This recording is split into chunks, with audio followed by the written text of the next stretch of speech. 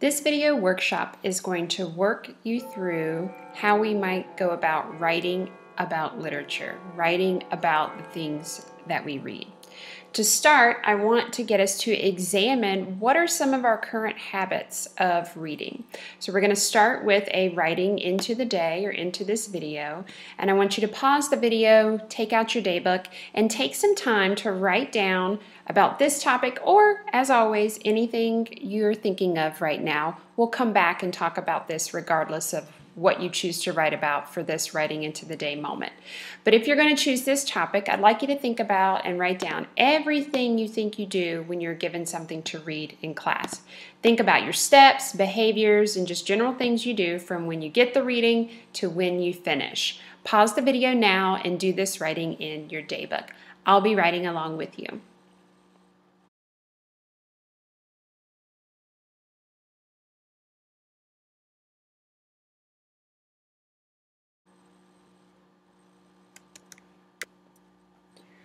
Welcome back. Let's talk a little bit about this writing into the day. So, I want us to think about and share what is working. What are the things that you're doing that you feel are working for you as a reader? What are the things that you think you might need to do differently? Is there anything about your current habits as you're thinking about what you do when you sit down to read something, particularly for class? That you're thinking maybe I don't do as well or it's not as effective as it could be. What are those things? Let's talk about those. Some things that I know that I do or are that I sit in a very comfortable, almost lying down manner when I'm sitting down to read. So think about how that might be affecting my approach to the reading. I might be very relaxed, which is great, but I also might start to fall asleep, which doesn't exactly lend itself to me being a really engaged reader, you know? So let's talk about what things we might need to do differently or want to learn. Let's also think about what if we have to write about what we read? Is there anything we would need to be doing differently while we're reading in order to make that next step more helpful or prepare us a little better?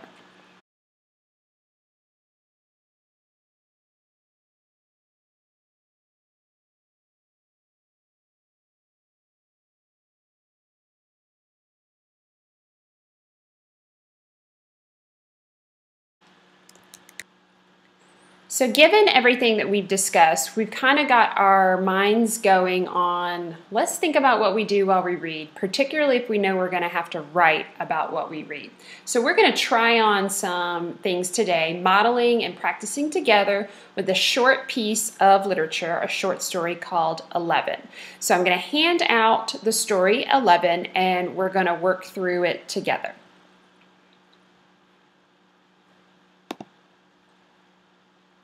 What we're going to do is I'm going to read this opening paragraph aloud to you, and I want you to do whatever you think you should do as I'm reading, and then we're going to talk about uh, your initial reactions. This is called 11 by Sandra Cisneros. What they don't understand about birthdays and what they never tell you is that when you're 11, you're also 10 and 9 and 8 and 7 and 6 and 5 and 4 and 3 and 2 and 1. And when you wake up on your 11th birthday, you expect to feel 11, but you don't. You open your eyes and everything's just like yesterday, only it's today. And you are underneath the year that makes you 11. So, what are you noticing yourself doing just as I was reading that opening paragraph? Tell me some things you saw yourself doing. Okay, so we're sharing what we think we see ourselves or notice ourselves doing as we're reading. And now I'm going to offer you something to try on and do while we're reading to just feel what it's like to engage in a certain way while you are reading a piece of literature. So I'm going to give you a handout and it's going to uh, look like and get you started on the double entry journal. So what you need to do to prepare for the double entry journal is you need to take out a blank page in your daybook probably where you've got two blank pages in front of you. So it might be the back of one and the front of the next. And we're going to create two columns on each of those pages. So in order to create the columns, you can either fold the page in half, and that will create a line on that fold, or you can just draw a line down the middle of your page. In the left-hand column, I want you to label that note taking. And in the right-hand column, I want you to label that response to notes. So what do you think we're going to do in the note-taking column? You're brilliant. Yes, we're going to take some notes. Now, these are things directly from the reading. So this is where we might identify a quote or a word, something that comes up directly from the text that we want to remember for whatever reason later something that we could summarize from the reading, a detail, a moment that happens in a scene, just anything that strikes our fancy, not really worried about why we're noticing it, but that's what's going to go in that note taking side. So as we're reading, and even sometimes after we're reading, we're going to use this left hand column to capture moments that, for whatever reason, stood out to us as we were reading. Now, as you're taking those notes, you just need to be able to point back to them or get back to them in the text. So sometimes just a quick word and maybe a page or a paragraph number or the start of a quote with ellipses, the dot, dot, dots, so that you know you can remember where it was and get back to it quickly. But you don't have to capture you know, two, three lines of quotes. That'll bog you down a little bit too much. So that's what's happening in the note-taking side. And the response to no side, that's all about you. So column two, the column on the right, is where you're going to be responding to that note you just took. And we'll talk about where in your reading and in your process for note taking you might do this. But these responses could be questions that came up, like, I didn't know what that word meant, or um, something about the character that you were curious about and you wrote that note down and so you want to respond to it. Maybe something you noticed about what the writer was doing in the text. Um, so you could make a comment on, I see the writer is doing X um, in this particular passage or scene or whatever the case may be. But this is your response, your thoughts to whatever that information from the text was. So what we're going to do is we're going to reread the opening paragraph, and I'm going to model up here on the doc cam in my daybook the double entry note taking. Now, because I'm reading out loud, I'm going to do my note taking after I get done reading. You can feel free to do it while I'm reading, rereading this opening paragraph, or you can also wait till we get finished.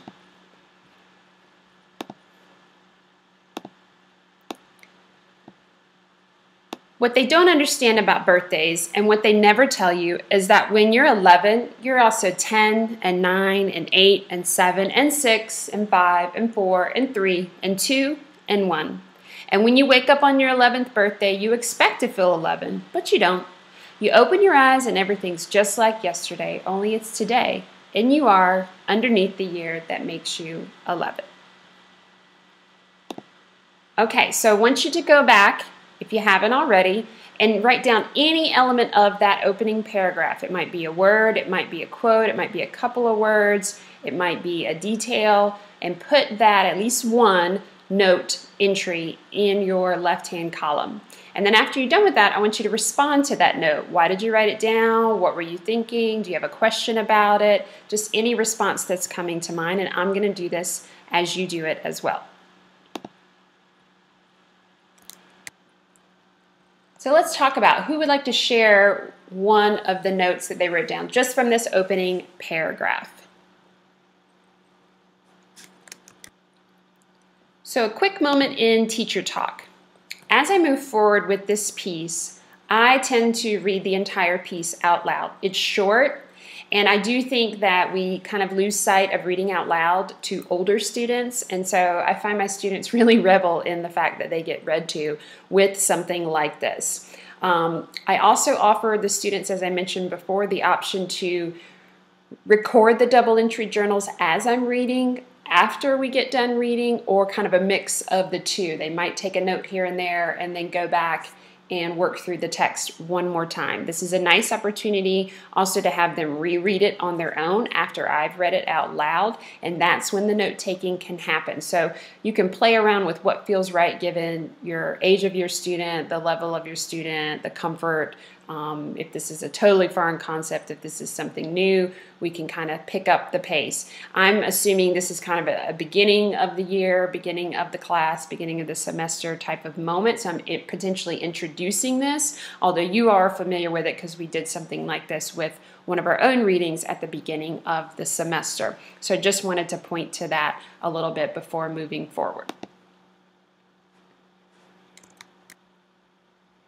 Now that we've worked through our entire text and reading this piece, and you've completed your double entry journals and you've responded to those double entry journal entries, I want to give you some time to just kind of do a what are you thinking now? What is what are any immediate responses that you're having to the reading outside of this note taking moment? So you can draw a line under your notes or you can turn to a new page. And I want you to take 2.67 minutes in your daybook and just jot down anything that you feel you're responding to, feeling in response to this reading right now.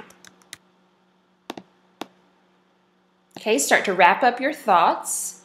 And now I want you to turn to someone near you or one or two people near you, and I just want you to share. You can talk directly from your daybook, read from your daybook, but anything that you're thinking about this text, just want to give you some time to talk to each other and see what things you're noticing or reacting to similarly and what things are different. And as you're talking to each other, if your brilliant partners or your small group make you think of something new, where do you want to write it down?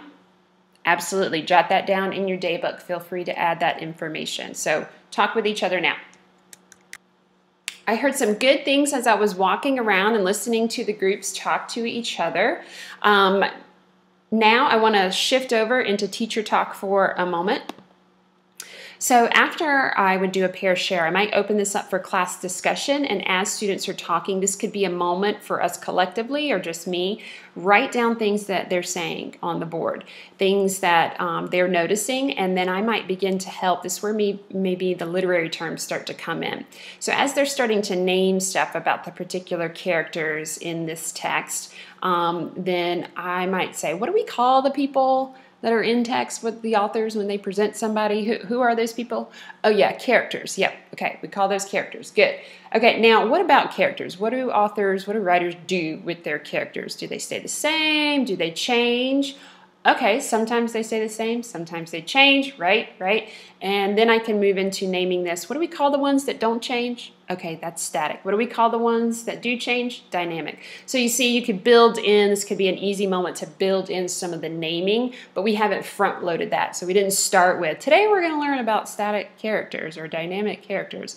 You're starting with the students and their response to the reading. And guess what? They've already probably filled up a page or two in their daybook. So we've already got the writing going on. And so now we're going to move into how we might start actually shifting to writing more specifically about this literature using um, the Writing About Literature handout.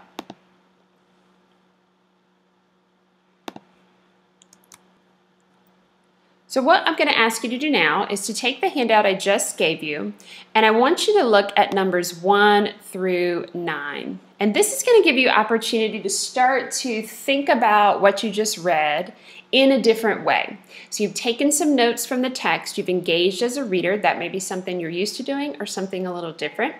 You've responded to those notes, you've talked with others about them, you've done some additional writing and responding in your daybook, and now we want to move that a little bit more forward and give you a little bit of a more focused way to respond. So I'd like you to just look at numbers one through nine and just choose one or two to allow yourself to engage with the reading further. So, whichever you choose, you're going to do this in your daybook so it's informal, low stakes. You don't need to worry about writing perfectly right now. And just see which one of the options are speaking to you and just go with it and play with it. You can draw from your daybook writing you can draw from your um, double entry journals. You can draw from things you heard your partners saying, anything that's going to help you kind of work through one through nine. As you start one of the um, topics or ideas, if it doesn't bear fruit, you're not liking it, just draw a line, switch, and do another one, okay? We're gonna let this uh, finish us out in class. I'm gonna walk around and touch base with you, answer any questions, maybe read through a little bit of what you're writing as you're willing to share, and we're gonna let this um, finish us up in class today. Anything you don't finish today, you can move into homework for this evening and we'll pick back up with it tomorrow. So another little bit of teacher talk. This last step might be where class has to end today, depending on how much time and the speed at which students are able to work through the short story and complete the double entry journal um, writing and free free writing in their daybook and talking with each other. If you have a long class discussion after the pair share moment, then that might end class. Um, I would advise not just strictly sending students out for homework unless you feel like you've got a group of students that are mature enough and able to handle any questions that might come up without it turning into they come in the next day with nothing because they felt like they didn't know what to do. So, with the focus reader response, the writing about literature handout, you want to make sure um, that students feel comfortable doing that if you are going to send them away doing it for homework. But it certainly could be a nice um, formative assessment that you use and have students bring in for the next day. So now I'm going to move into teacher talk before I shift back into student mode and ask you to begin working on the body biography. One way that I move into analysis is through visuals, and you saw some of the options in the focus reader response handout, writing about literature handout, that there were some visuals, some drawing opportunities there. But I particularly wanted to comment that these activities with the body biography handout, if done thoroughly, can easily take a day. So I'm going to get you started on this as a quote student, but you can see how this could um, be adapted or molded into much grander things um, if you were doing these depending on the level and the age and the maturity of the class. This is also, I know many teachers who go and get the large, big contact paper actually trace out a student's body. Um, so this is a fun time to play with the art teacher and maybe even have a day in the art room depending on how your school and your, your environment is set up.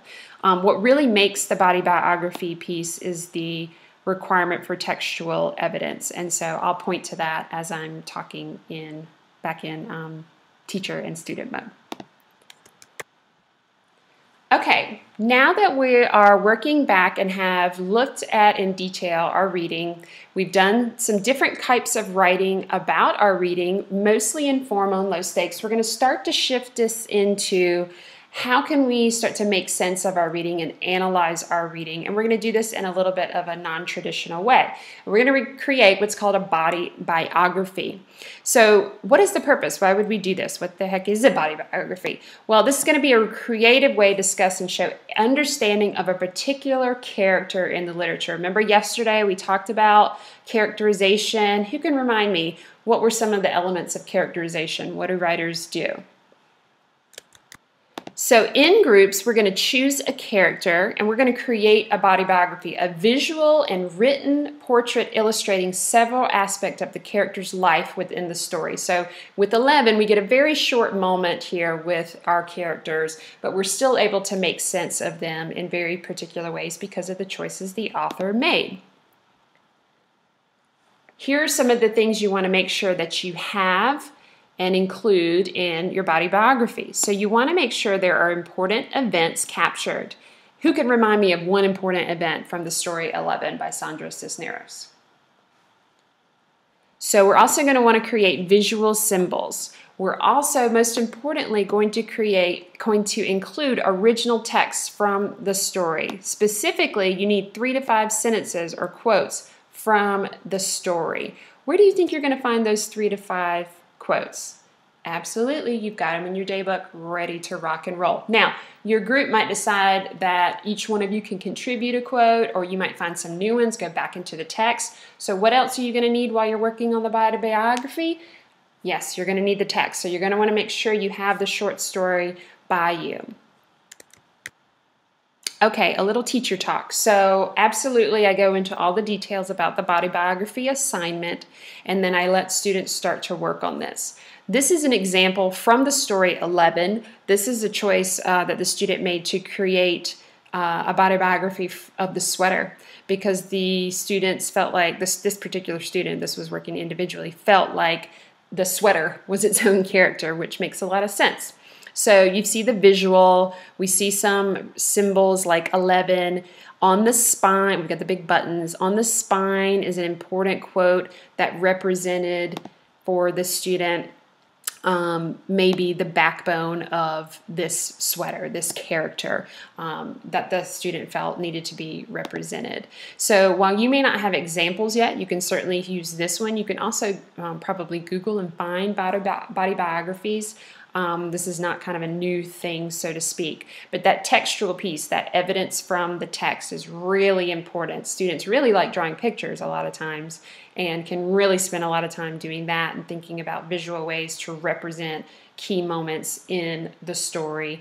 Um, but that textual analysis support how do they know that this is what would represent visually they need to be able to make that very clear so that's just a little teacher talk um, to kind of make sure as you're moving students through this that it doesn't just become a fun picture day Your body biographies are awesome. I've really enjoyed showing them in the hall to everyone. And the teachers, the principal, other students have come up and said, What is this? What are you guys doing? I want to be in your class. And they're really praising you guys. So, you guys have got some really cool stuff going. So, this was really an interesting way to capture your thinking about the reading as groups and in a visual as well as textual way. So we're going to go back to that focused reader response handout, remember, that we worked on and you were using um, to do some work for the uh, just getting your mind thinking about the story and responding to it and writing in a different way than just your notes in your daybook.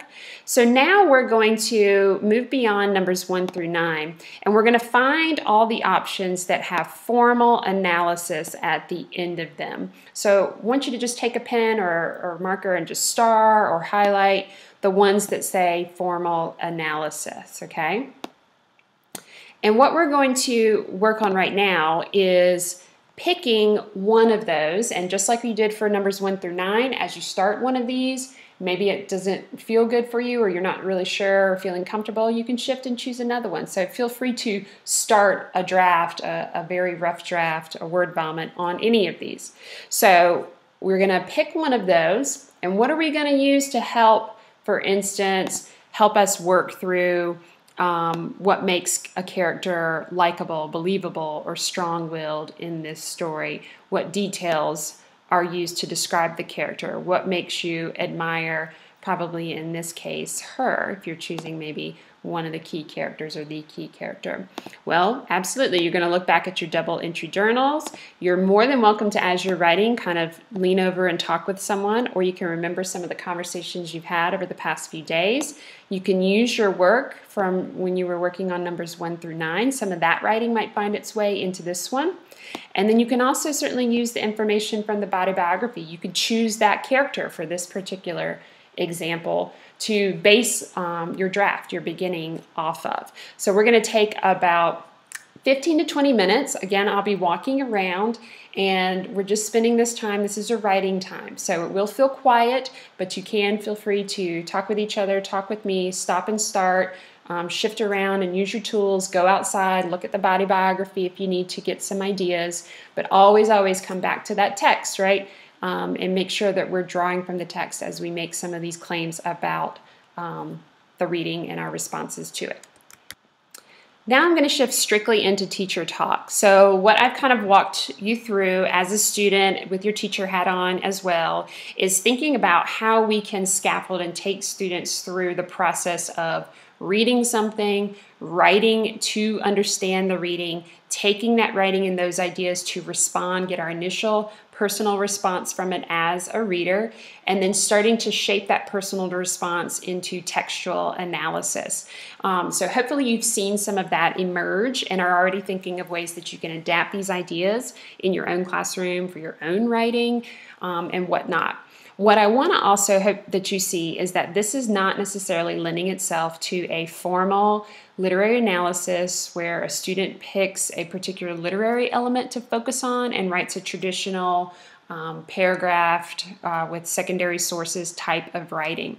Doesn't mean that you can't go there. And I think doing something, some of these activities beforehand really helps the students get prepared for that more traditional piece. What I want to offer you now is an additional non traditional piece that's becoming quite more traditional, which is a multi genre um, assignment. And that is the last handout that we have to look at. So with the multi-genre is a response to literature through a variety of narratives and genres rather than through expository abstract language.